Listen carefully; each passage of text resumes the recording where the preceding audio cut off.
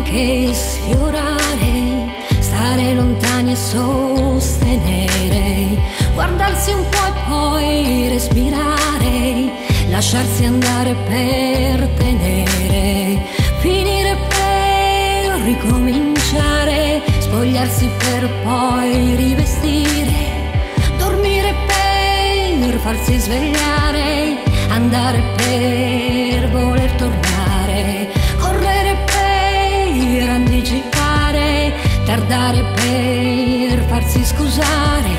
fingere per poter chiarire, chiudere per poter riaprire.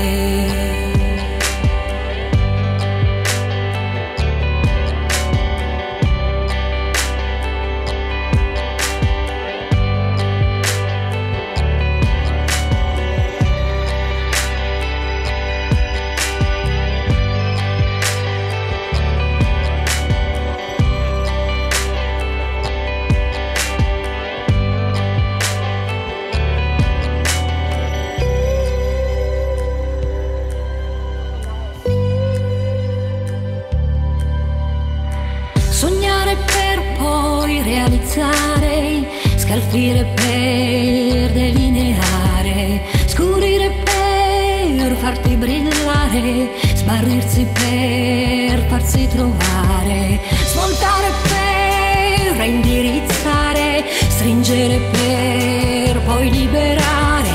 fare silenzio per creare rumore, pesare per